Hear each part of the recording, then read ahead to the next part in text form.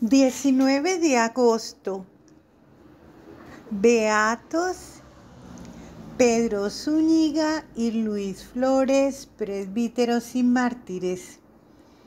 El día 22 de julio de 1620, el navío inglés Elizabeth interceptó frente a las costas de Formosa en Taiwán a una nave japonesa en la que viajaban cuatro europeos y al hacer el abordaje descubrieron con gran regocijo que entre los pasajeros había dos religiosos. Los piratas se apoderaron del barco y una vez en alta mar hubo una repartición del botín y los cautivos entre ingleses y holandeses. La tribulación y los las tripulación y los cuatro pasajeros europeos quedaron en manos de estos últimos que consideraron a todos como sus prisioneros y los condujeron al puerto de Firando. El barco holandés atracó ahí el 4 de agosto y el mismo día el padre Bartolomé Gutiérrez se puso en camino hacia el puerto con la intención de gestionar la libertad de sus hermanos en religión capturados, pero llegó demasiado tarde. Desde el primer momento los dos sacerdotes habían sido desembarcados y entregados a la gente holandés Juan Spex. Este se apresuró a desempeñar su papel de juez y enseguida sometió a un riguroso interrogatorio a sus reos, quienes se mantuvieron firmes en su negativa de que fuesen sacerdotes o religiosos a fin de no comprometer a los tripulantes de la nave japonesa que tan generosamente los había acogido. A los dos se les amenazó con someterlos a torturas hasta que admitieran su identidad y mientras tanto se los arrojó en una inmunda prisión. Los religiosos tan arbitrariamente capturados eran el padre Luis Flores Dominico y el padre Pedro de Zúñiga de la Orden de los Ermitaños de San Agustín. Luis Flores había nacido en Amberes entre 1565 y 1570. Sus padres emigraron a España y se trasladaron a México, donde el joven Luis entró al convento de San Jacinto en la capital del virreinato de la Nueva España. Tuvo que cambiar su apellido flamenco Frairín o Frorín por el de Flores para que le permitieran ir a las Filipinas a donde llegó en 1602. Se embarcó para el Japón el 6 de junio de 1620 en compañía del padre Pedro de Zúñiga, que era hijo de un gran señor llamado Álvaro de Zúñiga, marqués de Villamanrique y virrey de Nueva España. Pedro nació en Sevilla y tomó el hábito en el convento de dicha ciudad. Hizo su profesión el 2 de octubre de 1604 y llegó a las Filipinas en 1610. De ahí pasó al Japón en 1618. Obligado a esconderse, tuvo que dejar el país al cabo de un año y sintió inmensamente felicidad cuando se le designó de nuevo para regresar al Japón en 1620. El 2 de octubre los holandeses interrogaron otra vez a los dos religiosos para hacerlos confesar su identidad. El gobernador de Nagasaki, Gonroku, conocía al padre de Zúñiga puesto que le había prometido, prohibido que huyera un año antes. El gobernador tenía simpatías por aquel sacerdote tenaz y le habría gustado ir a saludarle en la prisión, pero no se atrevía a desobedecer las órdenes del emperador. De todas maneras se alegraba al saber que los dos religiosos ocultaban su identidad y no estaba dispuesto a denunciarlos. A pesar de sus buenas intenciones, el gobernador se vio obligado a presidir una audiencia pública destinada a desenmascarar a los dos supuestos sacerdotes apóstatas, asamblea esta en la que participaba el alcalde Firando y donde debían comparecer como testigos de la acusación el sacerdote jesuita Carlos Espínola y varios otros prisioneros cristianos, entre los que figuraban muchos futuros mártires. El padre Espínola declaró que él no conocía a ninguno de los acusados y afirmó que si bien un cristiano siempre tiene que declarar su religión cristiana, no por eso está obligado a declararse sacerdote. Se rehusó a prestar juramento sobre su declaración en base a que no podía hacerlo sin la autorización de sus superiores.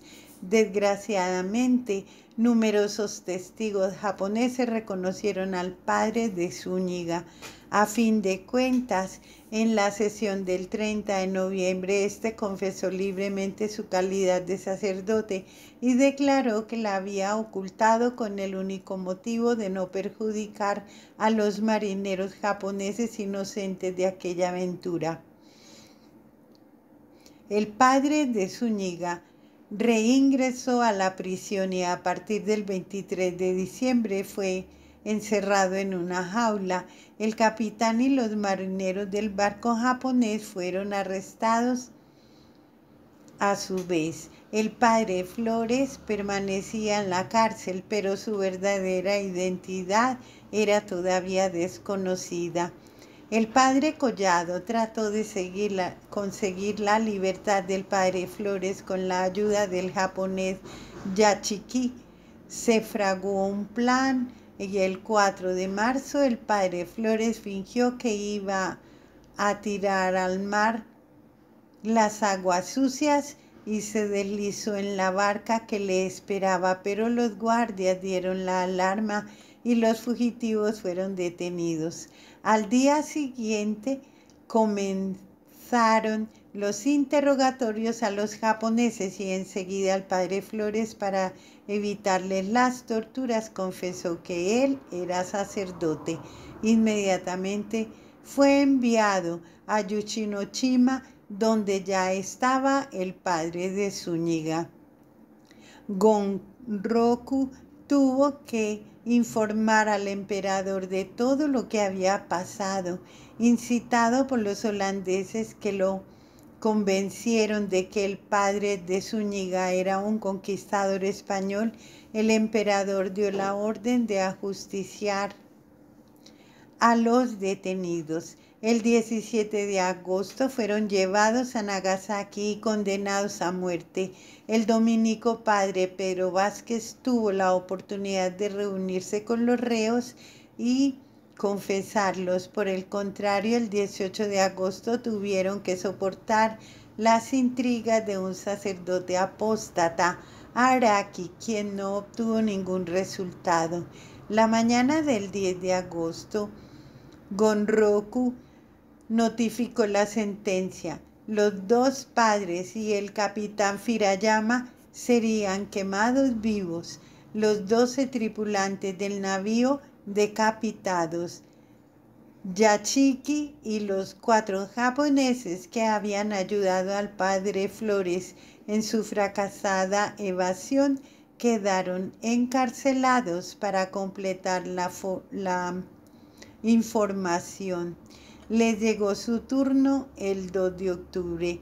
Firayama reclamó a Gonroku ¿Por qué el emperador del Japón nos condena a muerte sin que nosotros seamos culpables de crimen alguno?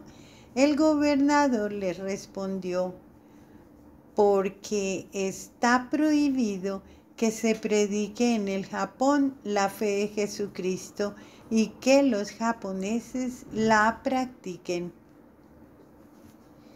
Los condenados fueron conducidos al lugar habitual de las ejecuciones. Entre la multitud inmensa que acudió a presenciar los ajusticiamientos se ocultaban tres dominicos. Numerosos cristianos cantaban el Magnificat y el Laudate. Los doce japoneses fueron decapitados. Los primeros eran cofrades del Rosario. Eran León Zuckermeyor, segundo del navío. Juan Soyemón, jefe de tripulación, Miguel Díaz, comerciante, Antonio Yamanda, pasajero, Santiago Matsouo Donchi, pasajero, Laureano Rocougemón, comerciante, y cuatro marineros. Pablo Sanquichi, Juan Yango, Juan Matachiqui, y Bartolomé Mofioye. Los dos sacerdotes y Joaquín Firayama fueron atados a columnas con lazos débiles, pues los verdugos tenían la esperanza de verlos renegar bajo el exceso del dolor. El fuego era lento para alargar el suplicio, pero los tres mártires permanecieron invencibles el padre Flores murió primero, después Firayama. Al fin de tres cuartos de hora, el padre de Zúñiga estaba muerto también. Los cristianos entonaron el Te Deum y esperaron durante cinco horas que se retiraran los guardias para apoderarse de las reliquias de los mártires. El Papa Pío XI los beatificó el 7 de julio de 1867. Alabado y adorado sea mi amado Señor Jesús en todos sus santos.